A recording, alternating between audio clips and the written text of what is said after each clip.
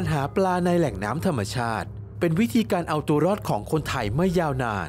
ในปัจจุบันยังมีนักท่องเที่ยวหลายคนที่ชื่นชอบการตกปลา และสามารถหาอาหารเองได้ในธรรมชาติ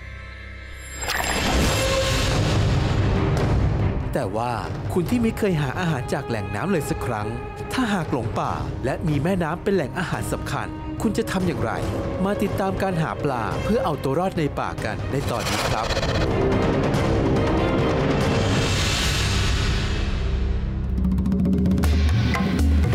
วัสดีครับ ผมแบงค์พาคินสุขีกับสารคดี Why Survival เรียนรู้เข้าใจง่ายเรื่องการเอาตัวรอดกับไทย PBS ครับหากจะพูดถึงเรื่องของการตกปลาหรือการจับปลาจากแหล่งน้ำธรรมชาตินะครับ คนไทยเราคงรู้จักกันเป็นอย่างดีอยู่แล้ว และถ้าเกิดว่าเรามองข้ามไป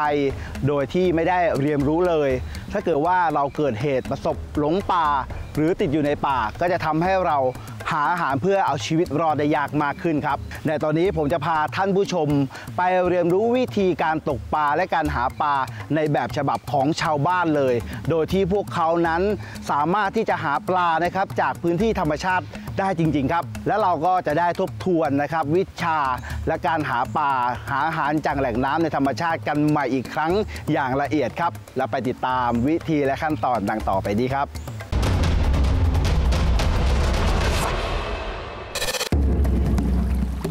เราได้พบกับลุงมานะ ซึ่งเป็นชาวบ้านหาปลาเป็นอาชีพ โดยจะออกหาปลาทุกวันตามลำคลอง แม่น้ำและเขื่อนขนาดใหญ่ โดยจะนำไปเลี้ยงชีพ และนำไปขายในตลาด ถ้าหากว่าหาได้มากพอ โดยทีมงาน w i Survival เราจะให้คนจับปลาเนี่ยแหละครับ มาสอนวิธีการเอาตัวรอดในป่ากัน แบบบ้านๆแบบจำง่ายกันไปเลยครับ ชื่อมานะเครียดทรมานครับ อาชีพหาปลาประทังชีวิตไปวันๆพอได้กินก็ได้ขายมั่งอะไรมั่ง ถ้าตามลำคลองส่วนมากมันจะเป็นปลากระบอกปลาตะขาวปลาตะเพียนพวกนี้นะครับปลาดุกมันจะมีพวกนี้พอเยอะอยู่ครับ แต่ตรงนี้มันจะมีมากมีน้อยผมก็ยังไม่รู้นะแต่ต้องลองดูกันก่อน ถ้าเราหลงป่านะครับ ถ้าเรามีเบ็ดมีเอ็นแล้วเราสิ่งที่ขาดไม่ได้คือมีด เราต้องใช้มีดเป็นการตัดไม้ เรามาทำอุปกรณ์ของเราก็ต้องใช้มีด แล้วก็ต้องมีไฟด้วยนะ เพราะว่าเราต้องมาเผาปลาเผาอะไรเราธรรมชาติของเราจุดเอ็นจุดอะไรอย่างเงี้ยเราต้องใช้ ถ้าเป็นมันจะมีเบ็ดนะ ตัวนี้จะใช้เป็นเป็นเบ็ดปัก เบ็ดปักแล้วก็จะปักไว้ในน้ำแต่ตัวนี้คือเราจะใช้แบบผูกเอ็นแล้วก็ไปยืนตกเอาประมาณนี้แล้วก็หรือจะเป็นพวกอันนี้เราก็ไปดักตามตะลิ่งไว้ปลามันจะเข้าตามไซเราเนี่ย คือเรา อันนี้คือง่ายๆเราก็เก็บมาตามป่านี่แหละเขาทิ้งไว้แล้วก็เก็บมาดักเผื่อมันจะเข้ามั่งการหาเหยื่อนะหนึ่งเราจะใช้ลูกไม้ก็ได้ พวกมะเดื่อเพราะในในในป่าไม้จะมีลูกมะเดื่อเยอะ แล้วก็ตามดินเนี่ยเราก็ไปขุดดูเหยื่อเดือนเราหรือว่าด้วง มันจะเป็นขุยตามกอไผ่หรือว่าจะเป็นแบบหญ้าแบบดินโพงๆอะแล้วก็ขุดไปก็จะเจอด้วง หรือเหยื่อเดือนพวกเนี้ยมันจะมีแบบนั้นแหละแต่ถ้าเป็นพวกไอ้ตะเพียนอะมันจะใช้ใบไผ่ได้ ใบไผ่มันเราก็จะเหยื่อเดือนล่อข้างล่าง แล้วก็ผูกใบไผ่ข้างบนให้มันปิววิบวิบวิบพวกปลากระสูบมันก็กิน ถ้าเป็นลูกมะเดื่อเราก็จะเป็นอันนี้มันจะดิบหน่อยนะ มันก็อาจจะเราก็ฝานแบบฝานแค่ตัวเบ็ดเราเนี่ย เพราะข้างในมันจะมีแมลงอยู่เนี่ยหั่นเป็นชิ้นอย่างนี้เลย แล้วก็จะเกี่ยวตัวเบ็ดลงไปแค่นี้แล้วก็หย่อนเบ็ด มีสิทธิ์มีสิทธิ์กินอยู่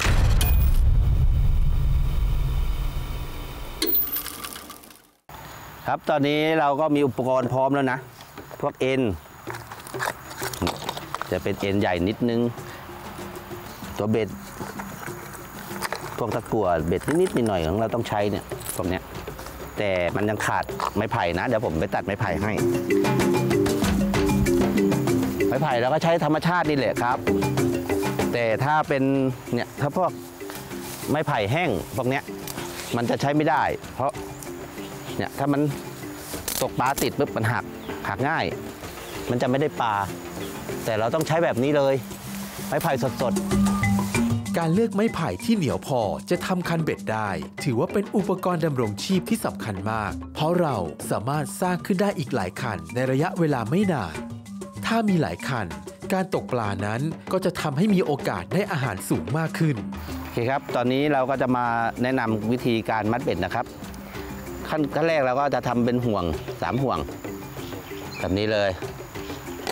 สองสามห่วงนะครับ กันมันรูดไงแล้วใส่หัวหัวเบ็ดหัวไม้ แล้วก็มัดทับอีกทีนึงนะครับ กันมันลื่นอุปกรณ์ต่อไปก็คือไฟแก๊สนี่จุดตัวนี้ออกหน่อยหนึง เคสวยงามมาก ครับตอนนี้ผมจะทำวิธีการมัดตัวเบ็ดให้ดูนะครับขั้นแรกเราก็เอาเบ็ดมาเทียบกับ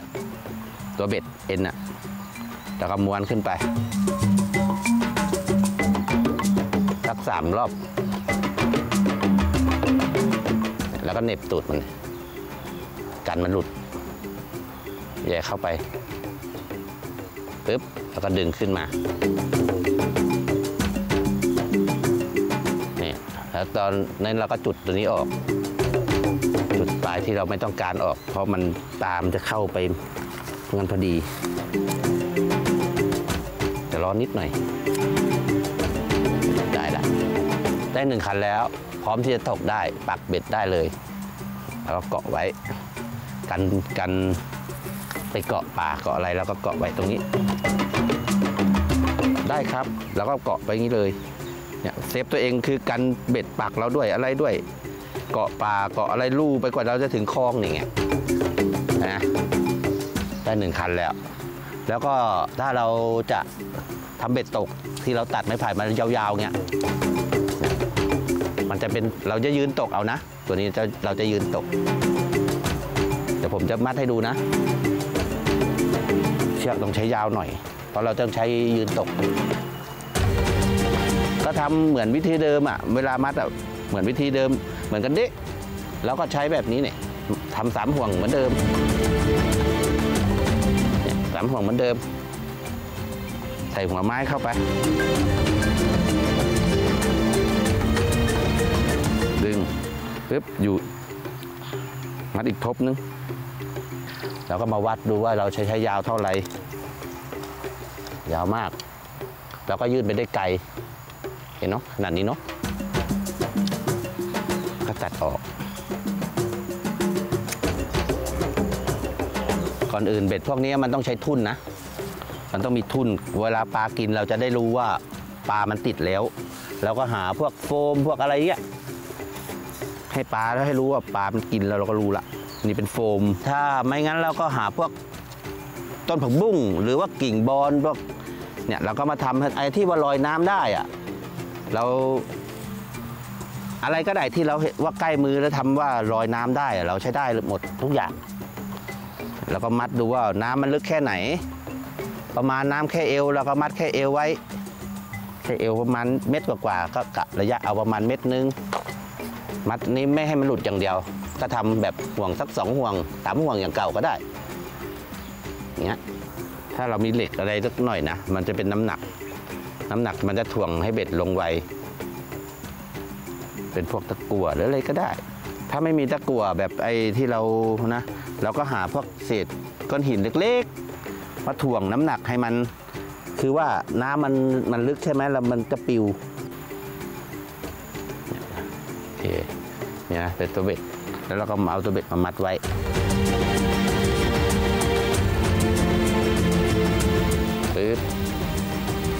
เดี๋ยวดู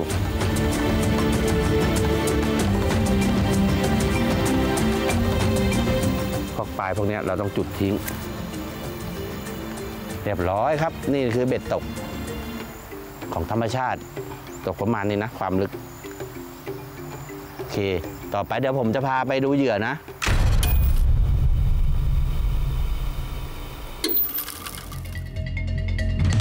ลุงมานะจะพาไปขุดไส้เดือนและตัวด้วง เพื่อมาทำเป็นเหยื่อตกปลากันครับ ตอนนี้เราจะพามาดูพวกเหยื่อเดือนกับด้วงนะที่ว่าเราจะขุดหาไปทำเหยื่อตกปลา เราก็จะขุดดูตามนี้แหละ ดินชื้นๆใบไม้กบๆอย่างเงี้ยเขาน่าจะอยู่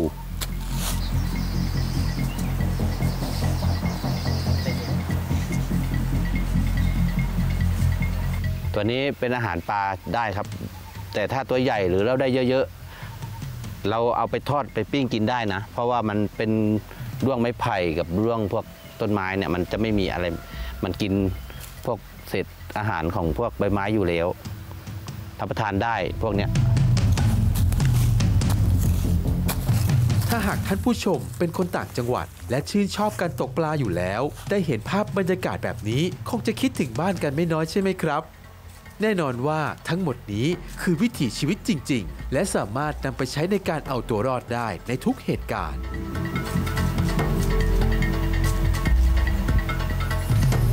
ครับตอนนี้เราได้เหยื่อ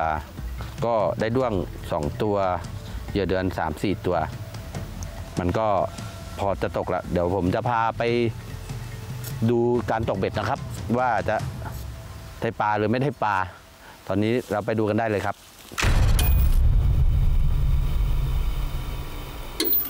ตอนนี้เรากำลังจะพามาดูว่าทำเลหาปลาเราจะหาแบบไหนนะ ก่อนอื่นเราจะดูน้ำก่อนว่า ถ้าน้ำไหลพุ่งมาตรงๆเนี่ยปลามันอาจจะมาเล่นอยู่ช่วงริมตลิ่ง ตรงที่ว่าน้ำนิ่งๆอย่างจุดนี้จุดเนี้ยน้ำนิ่งอย่างเงี้ยเรามีสิทธิ์จะตกได้ แล้วเราจะดูว่าถ้าให้ดีจริงๆอะถ้ามีปลาผุด หรือปลาขึ้นผุดขึ้นจุ๊บจับจุ๊บจับตามตามผิวน้ำอะนั่นแหละ อาจจะเป็นแหล่งของปลาอาศัยมากเลยก็ได้ เราอาจจะได้ปลาเยอะ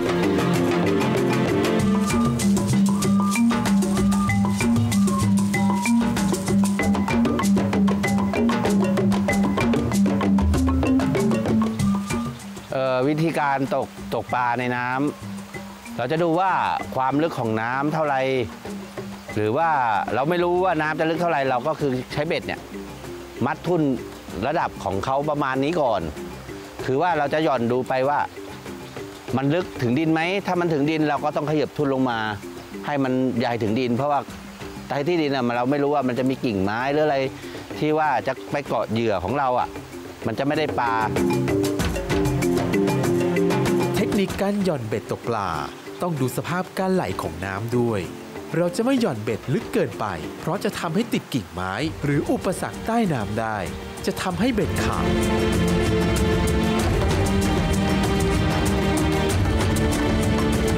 เราจะต้องไม่หย่อนเบ็ดโดยไม่มีทุน และลอยเกินไป จะทำให้เบ็ดเราลอยไปทางอื่นไม่นิ่ง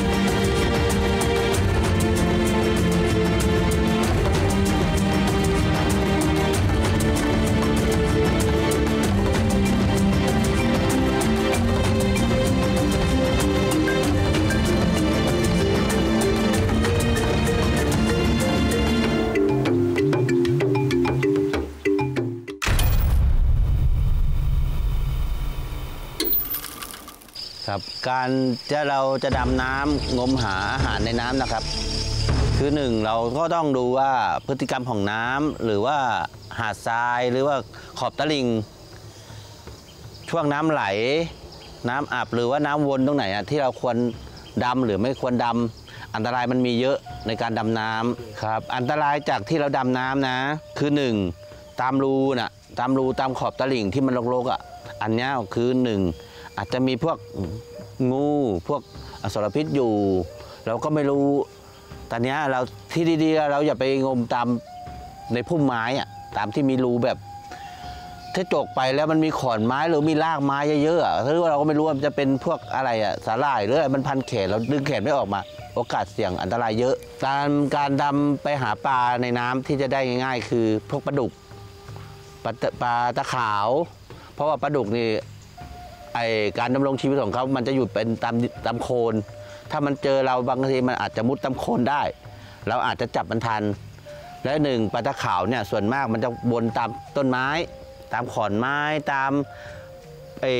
กอบัวกอหญ้าอะไรพวกนี้เราอาจจะคว้ามันทันเราหยิบมันทันได้ วิธีจับปลาด้วยมือเปล่านะหนึ่งคือปลาดุกเนี่ยมันจะคุดดินอยู่ ถ้ามันจนมุมหรือว่ามันมีภัยจะมาหามันจะมุดเข้าดินเลย มุดเข้าตามตะลิ่ง แล้วก็สามารถจะกดมันอยู่ ถ้าการจับปลาดุกถ้ามันคุดดินแล้วนะ การคูดดินของมันอะ มันจะหัวมันจะหัวเรียบลงไป เราก็ต้องเอามือกดตามหลังมันลงไป ตามตามหลังมันลงไปถึงหัวมันแล้วเราก็กดหัวมันไว้ อย่าไปเอามือไปข้างๆ เพราะว่างเงี้ยงของมันจะคมมาก เรื่องเรื่องเรื่องหอยนะมันจะอยู่ส่วนมากหอยเนี่ยพวกนี้มันจะอยู่แบบถ้าหอยกาบ มันจะอยู่ตามดินเหนียวเหนียวดินทรายหรือว่าหอยหอยภูเขาพวกมันก็ ตัวน้อยกว่าหอยกาบนิดๆแต่มันจะสีเขียว ตัวนี้จะฝังตามดินทราย แต่ถ้าหอยขม หอยขมก็ได้อยู่ตามดินลมๆดินดินนุ่มๆแต่หอยทรายเนี่ยมันจะอยู่ตามไอ้ที่หอยเขียวๆตัวเท่านี้มันจะอยู่ฝังตามดินทรายเลย มันจะจับง่ายพวกหอยนะเราไม่ต้องเสี่ยงอะไรมาก ในตอนนี้ลุงมานะจะทำการสาธิตการดำน้ำหาอาหารให้ท่านผู้ชมได้ดูครับ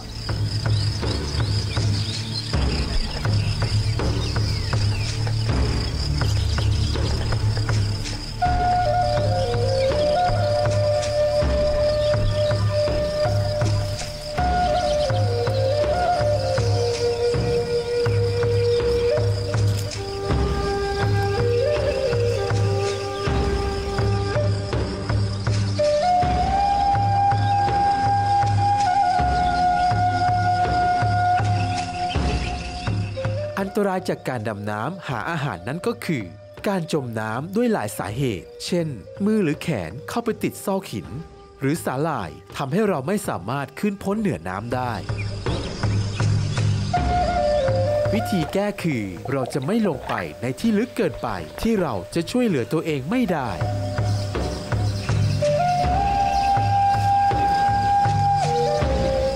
การเสียชีวิตเพราะสัตว์มีพิษไม่ว่าจะในน้ำหรือตะลิ่ง เช่นงูพิษ จงอาง งูเขียวหางไหม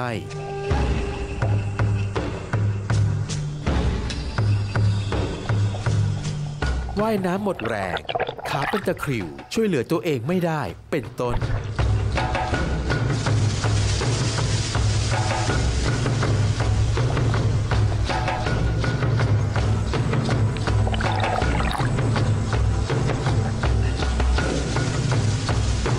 ลุงมานะเลือกที่จะให้คนที่ไม่เชี่ยวชาญ เลือกใช้เวลากลางวัน และมีแดดแรงๆ ในการดำน้ำจะปลอดภัยมากที่สุด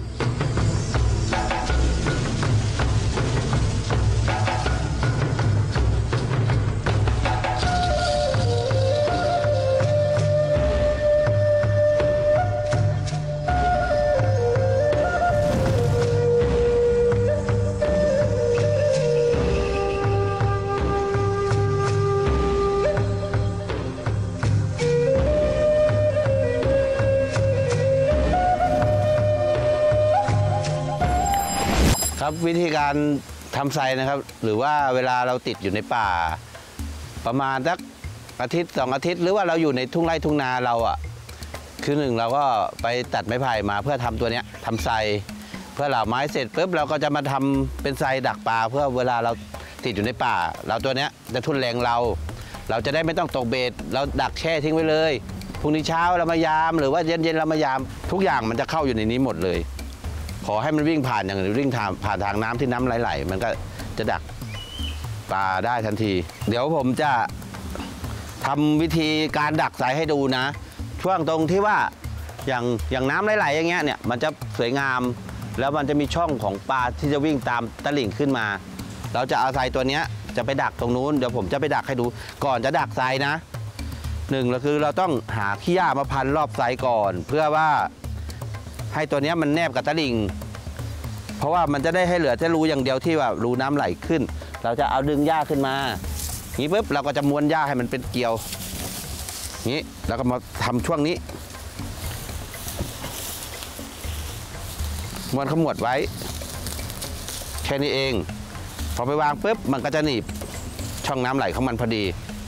เดี๋ยวผมจะพาไปวางไฟตรงน้ำไหลให้ดู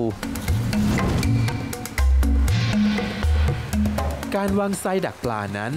แม้ว่าจะใช้เวลาสร้างนานที่สุด แต่เราถือว่าเป็นวิธีที่ดีที่สุด เพราะทุ่นแรงไม่ต้องเฝ้ารอ อย่างในหลาย ๆ ตอนที่คุณแบงค์พาคินเคยได้ทำมา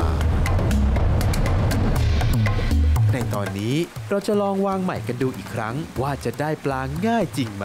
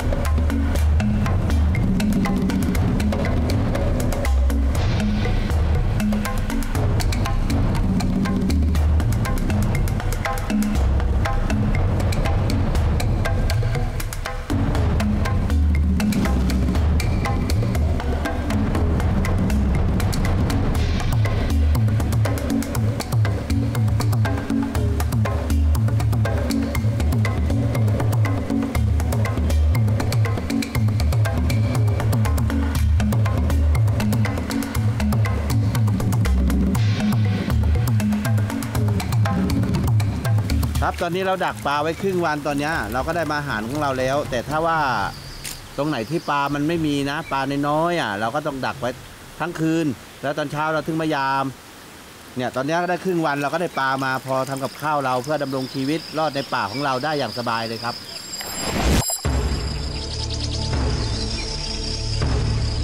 ถือว่าแหล่งน้ำที่เราได้คัดเลือกมาถ่ายทำนี้ อุดมสมบูรณ์มากๆ ประกอบกับเป็นพื้นที่ติดชุมชน จึงมีการปล่อยปลาเพื่อทดแทนในยามฤดูวางไข่ และจับเพื่อเลี้ยงชีพกันได้ตลอดปีครับ และถ้าเป็นแหล่งน้ำแม่น้ำในป่า ในธรรมชาติลึกๆนั้น จะยิ่งอุดมสมบูรณ์มากกว่านี้หลายเท่า ถ้าหากเราเรียนรู้ วิธีที่จะหาปลากินเองได้ เราก็จะไม่อดตายครับ ถือว่าเป็นเพียงวิธีการพื้นฐานและจำง่ายสำหรับคนที่ไม่เคยตกปลามาก่อน แต่ถ้าใครมีเทคนิคการตกปลาที่เหนือชั้นขึ้นไปอีก สามารถเข้ามาแนะนำทีมงานและเพื่อนๆกันด้วยนะครับ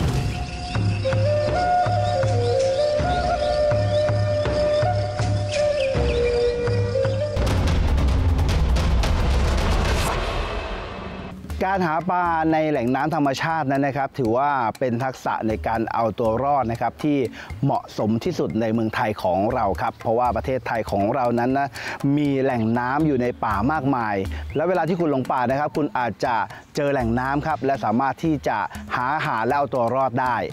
และอุปกรณ์ Survival ก็สำคัญครับโดยเฉพาะเอ็นและเบ็ดนะครับอาจจะต้องมีการเตรียมติดตัวเข้าป่าอยู่เสมอ แล้วก็ไม่ควรที่จะมองข้ามไป การตกปลาและการจับปลาในแหล่งน้ำธรรมชาตินั้นนะครับ ก็ถือว่าต้องใช้ประสบการณ์ครับ แล้วก็มีวิธีมากมายในตำรา